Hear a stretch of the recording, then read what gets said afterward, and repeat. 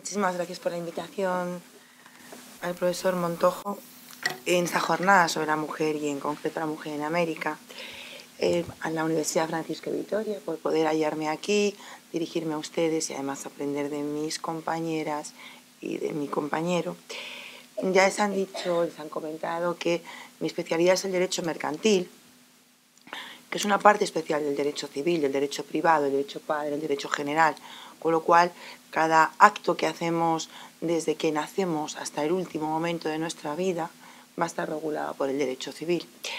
Y mm, además, la mujer, por supuesto, es, ha sido un tema muy importante en el, en el debate de las leyes desde nuestro primer Código Civil del año 1889, y seguimos todavía en ello. Y, mm, y además, bueno, como ya se ha dicho el profesor Montojo, soy la presidenta de la Comisión Mujer y Ciencia, Mujer de Igualdad de mi centro, con lo cual, bueno, la mujer es em, mi tema de trabajo preferido, ¿no? Podríamos decir. Mm, tengo muy poco tiempo, apenas 15 minutos, para explicarles a ustedes todo. Han tenido la visión desde América.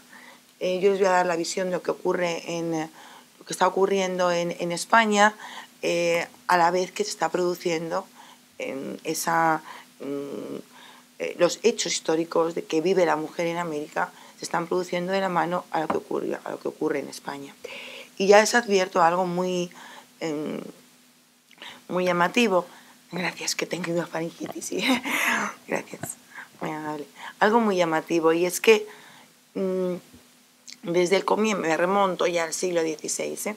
Desde prácticamente el comienzo de, la presencia española en, en América, rápidamente va a tener que cambiar el estatuto de la mujer en América respecto de lo que ocurre en España.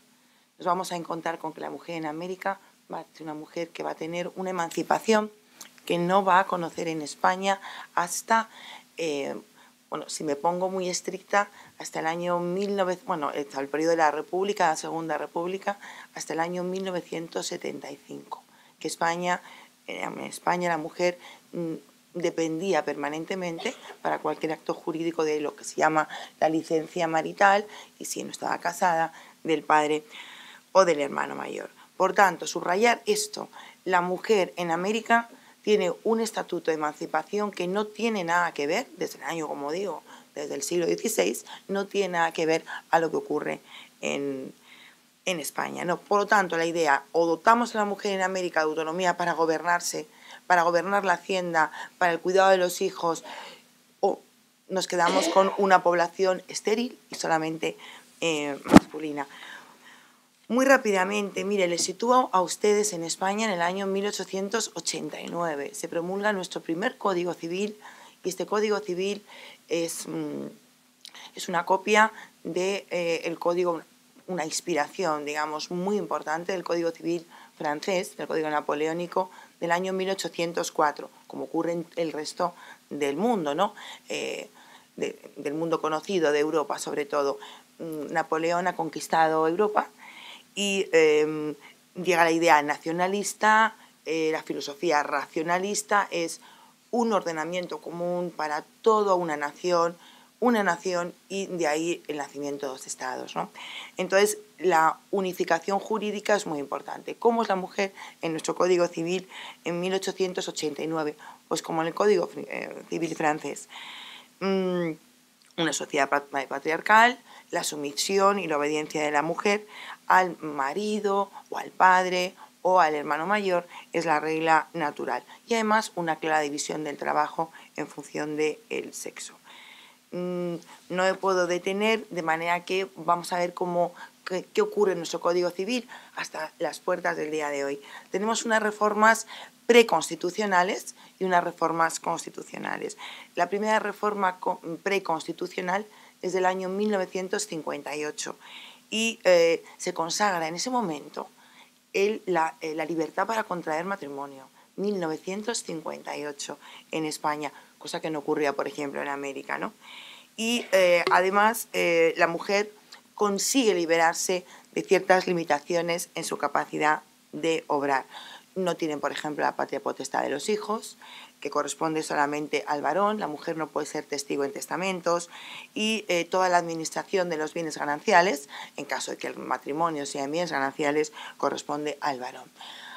Inmediatamente antes de la promulgación de nuestra Constitución hay una reforma muy importante que es importantísima, la del 2 de mayo de 1975. Se reforma el Código Civil y el Código de Comercio.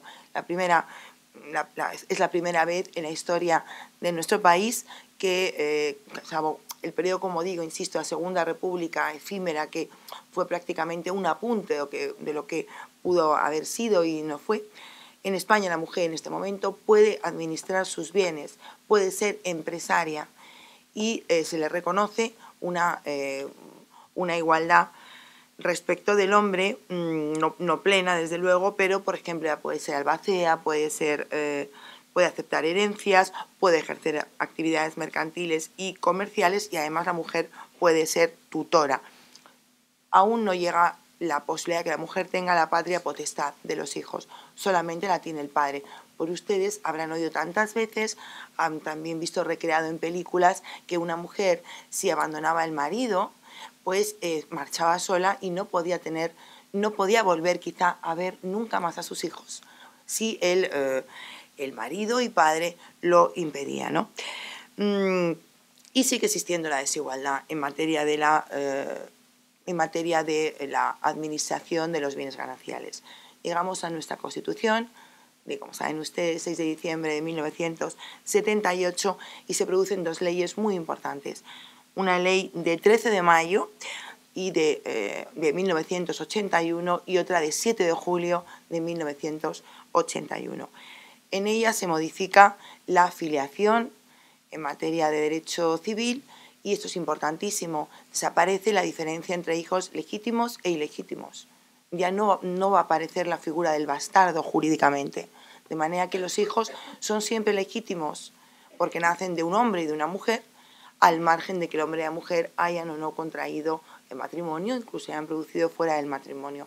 Esto supone un gran cambio para la atención de eh, el primer derecho que tiene una persona constitucional, que es la filiación, el saber quién es, de dónde viene y poder ejercer los derechos que le corresponden, ¿no? la tutela de ese niño que, mm, que nace al margen de las circunstancias de sus progenitores, circunstancias de estado civil o convicciones eh, religiosas o no. Em, el marido ya no tiene la patria potestad de los hijos, ya se comparte, también tiene eh, la administración de los bienes, también se comparte y eh, se sientan las bases en el año 1981 para poder solventar las crisis matrimoniales, incluso con la separación o divorcio dos artículos muy importantes a este respecto, sin los que no habría sido nada posible. El artículo 14 de nuestra Constitución, que tantas veces hay que recordar a diario, y es que los españoles somos iguales ante la ley, sin que pueda prevalecer discriminación alguna por razón de sexo, nacimiento, religión, opinión o cualquier otra circunstancia personal o social. Y el artículo 32 también de la Constitución que dice el hombre y la mujer tienen derecho a contraer matrimonio y a vivir con plena igualdad jurídica. ¿Qué nos preocupa posteriormente? El trabajo doméstico. Vale, estamos igualados, la mujer se puede, puede ya ejercer por el artículo 38 de la Constitución española, ya tiene el ejercicio de la libre empresa, puede ser empresaria, puede elegir profesión, puede elegir oficio, que en el 16, insisto, en América la mujer administraba sus bienes, eh, y elegía profesión y oficio. el profesor Montojo, que su tesis maravillosa, ¿verdad? Y bueno, que mm, como no, la, doctora Navarro nos pueden, eh, nos dicen ¿no? que eh, la mujer podía ejercer, podía ser profesora, podía practicar labores de medicina, no sé si con titulación o no, eh, podía ser administradora, podía ser directora de una escuela y desde luego podía administrar importantes haciendas. Esto no ocurre aquí. Mm, por eso, ojo con cuando se habla a veces del atraso en América. En, algunas materias, por ejemplo en materia legislativa, en materia de derechos sociales, son, están más avanzados que nosotros y han, y han, regulado en la Constitución derechos que todavía nosotros estamos discutiendo. Em, bueno, como digo, nos situamos, la mujer se incorpora al mundo del trabajo y hay una reforma muy importante y es que se dice, el trabajo remunerado será computado a efectos de compartir las cargas el hombre y la mujer. De manera que el trabajo de la mujer jurídicamente es reconocido y eh, mm, eh, la mujer va a poder hacer uso de ese trabajo para compartir, como digo, las cargas.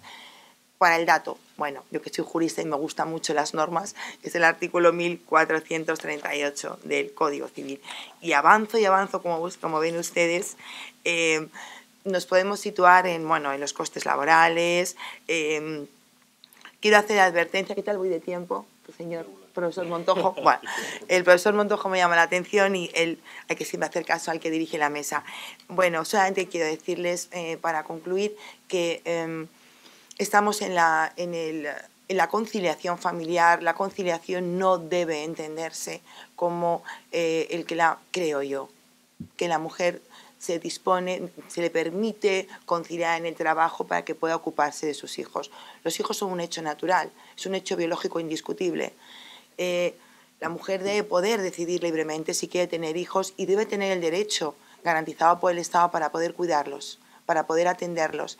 Y la conciliación debe entenderse como cooperación del hombre y la mujer para esos hijos que han querido tener y quieren eh, y deben, y así lo exige el Código Civil, además de cuestiones morales o religiosas, es por norma, deben cuidar a sus hijos, deben atenderlos y la sociedad y el Estado debe poder facilitarles que la conciliación no sea prácticamente eh, sea un, estado de shock permanente porque no se puede atender a los hijos.